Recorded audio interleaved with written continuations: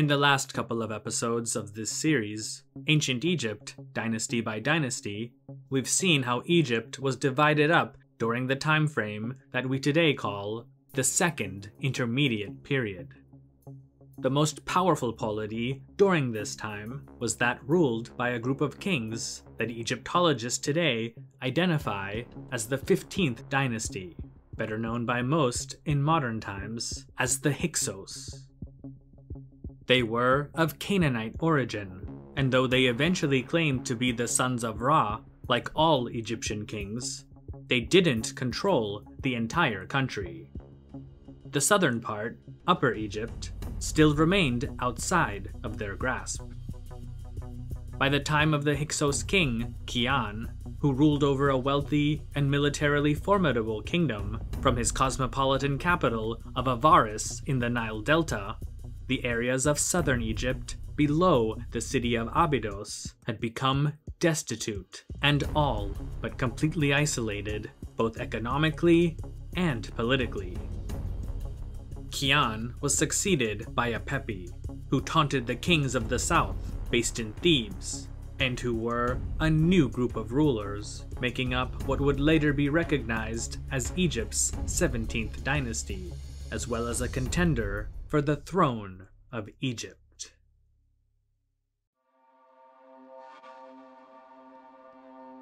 While the kings of the 15th dynasty better known as the Hyksos, were taking the northern part of Egypt to great heights not seen since the glory days of the Middle Kingdom, a new line of rulers, who historians would eventually classify as the 17th dynasty, was also gaining influence in the areas surrounding the city of Thebes.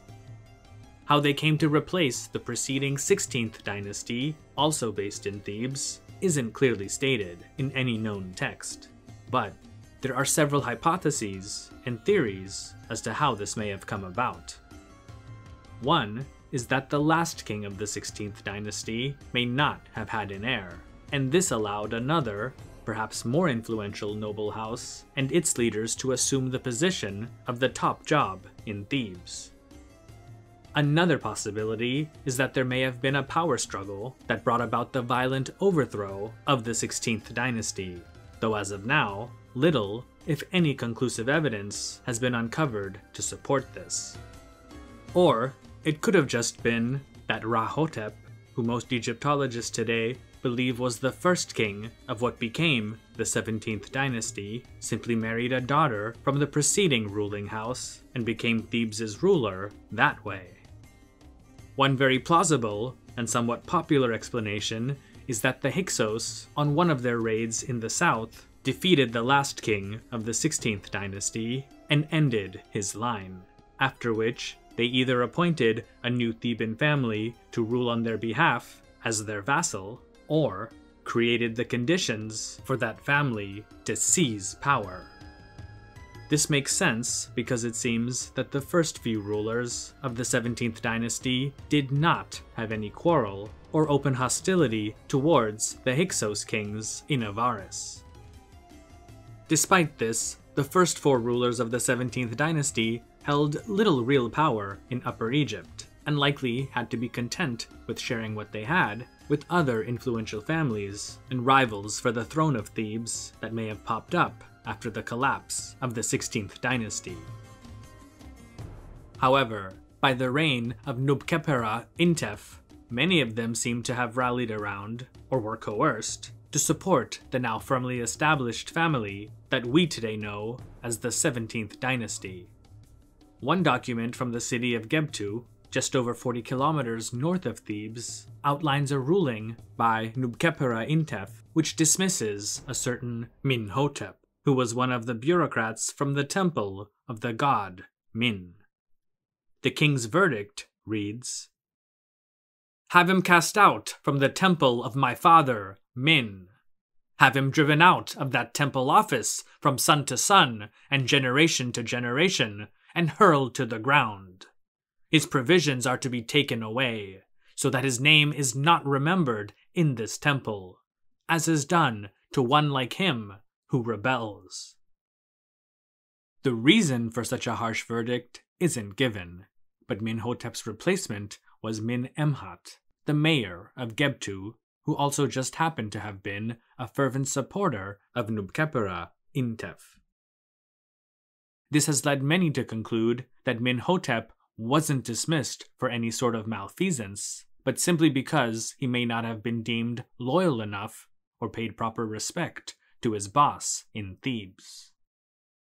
The kings of the 17th dynasty were buried at a place that's today known as Dra Abu el Naga, near the entrance of what would later become the Valley of the Kings, where most pharaohs of the New Kingdom era were laid to rest.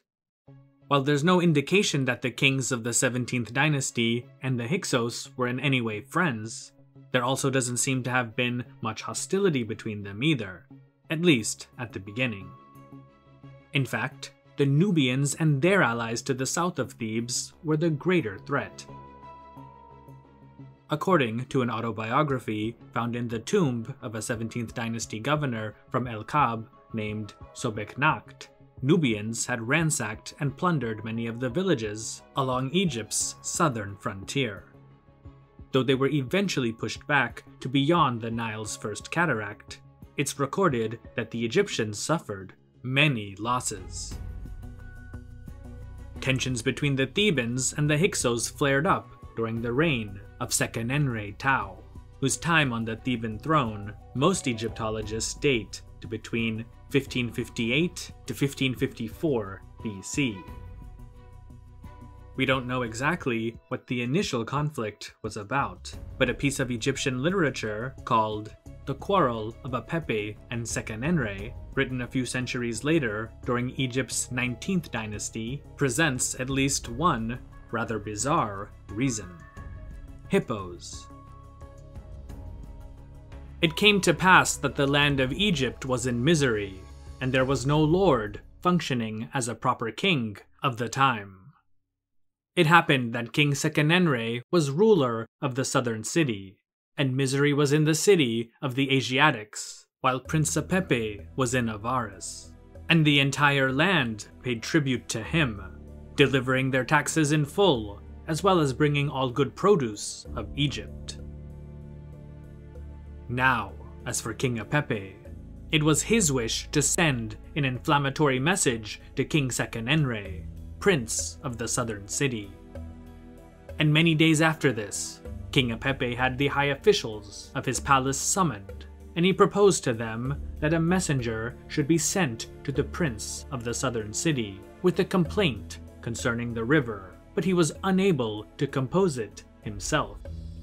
Thereupon his scribes and wise men and high officials said, O sovereign, our lord, demand that there be a withdrawal from the lagoon of hippopotami, which is in the east of the city, because they don't let sleep come to us, either in the daytime or at night, for the noise of them is in our ears. And King Apepe answered them, saying, I shall send a messenger to the prince of the southern city, that we may assess the power of the god who is with him as protector. He does not rely upon any god that is in the entire land except Amun Ra, king of the gods. The rest of the text tells us that upon receiving the Hyksos messenger, Seqenenre deliberated with his advisors as to what his response should be. And just as we're about to learn what happens next, the text is cut off, lost for eternity. That is, until a copy of the complete text can be found. Though we can't prove or disprove the veracity of the story, most Egyptologists would agree that the quarrel of Apepe and Seqenenre is not a historical document, but a work of fiction. Whether due to hippos, high taxes, Egyptian nationalism, or something else, Seqenenre Tao went to war with his northern neighbor. He first established a forward operating base across the river from Gebtu at a site that today is known as Deir el Balas. Both fortress and palace for the royal family, the complex he constructed there sat atop a hill with commanding views of the entire Nile Valley, the perfect place from which to defend positions further south. From his new command center, Seqenenre launched waves of attacks against Hyksos positions further north, apparently leading his men from the front and engaging his enemies in hand-to-hand -hand combat. But in the end, he was killed, perhaps from a blow from behind while on his chariot, or executed as a prisoner by an axe to his forehead or a dagger to his neck. Forensic experts examining his mummified remains have differing opinions of exactly how he died. X-rays of his mummy also show that the normal practice of removing the brain in preparation for mummification was not carried out, and that the subsequent embalming procedures were poorly done, indicating that the whole process had been rushed. One explanation for this is that the Hyksos were in hot pursuit of the retreating Theban army, and so a formal burial with all of the appropriate rites and rituals may not have been possible. The next in line for the throne of Thebes was Seqenenre's son, Kamose, sometimes also pronounced Kamose. There was a heavy burden on his head, to say the least. If there had been a detente between the Hyksos and the Thebans before, it was now over. With the brutal death of Seqenenre Tao, the Thebans had passed the point of no return. There could be no peace with the Asiatic enemy. There was also the very real possibility that if Apepi and the Hyksos overran Thebes and the rest of Upper Egypt, then for the first time in the country's recorded history, Egypt might be ruled in its entirety by non Egyptians. This, to a proud man such as Kamose, was unacceptable. Much of what we know about Kamose's fight against the Hyksos and his efforts to take Middle and Lower Egypt comes from two monuments which were found within the Great Temple complex at Karnak. One stela tells us how a distressed Kamose was sitting with his court officials to discuss their next course of action against the enemy to the north. His Majesty spoke in his palace to the council of officials, which was in his following. To what effect do I perceive it, my might, while a ruler is in Avaris and another in Kush? I, sitting joined with an Asiatic and a Nubian, each man having his own portion of this Egypt, sharing the land with me. There is no passing him as far as Memphis, the water of Egypt. He has possession of Hermopolis, and no man can rest, being deprived by the levies of the Setiu. I shall engage in battle with him, and I shall slit his body, for my intention is to save Egypt, striking the Asiatics. Kamose's council, though, was not convinced, and favored a more conciliatory approach towards Apepi.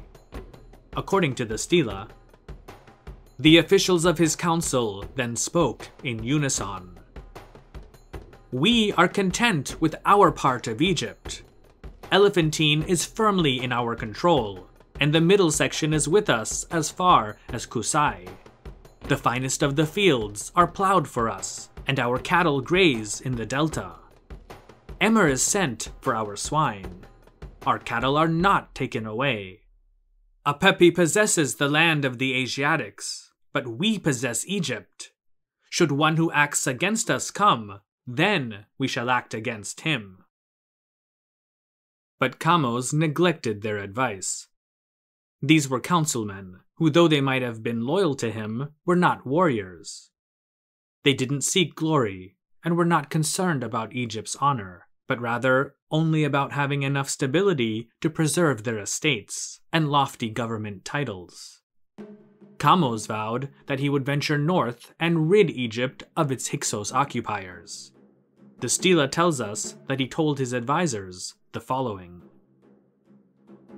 Dividing the land is not tolerable for me. I shall sail northwards to do battle with the Asiatics, and success will come to pass and the entire land will say. The ruler within Thebes, Kamose the Valiant, is the protector of Egypt. But before this could happen, he had to solidify his border with Nubia to prevent future raids into southern Egypt.